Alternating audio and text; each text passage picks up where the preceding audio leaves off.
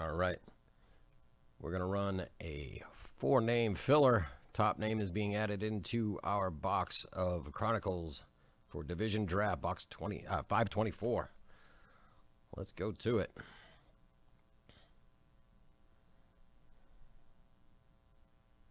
We're going to take our names from the fill and we are going to paste them into random.org and run them seven times. The top name will be added in.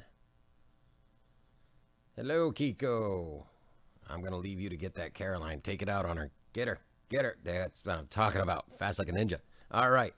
So let's switch over here. And we are going to run these four names from our filler. We're going to copy those into here. And we're going to run them seven times after we paste them in. There's the paste in. Here we go. Randomize. There's one. There's two. There's three, four, five, six. And here we go. Lucky number seven. Good luck to you. Stephen K. You are our winner for the filler. So that was going to get you in to Chronicles Draft. We're going to run that next.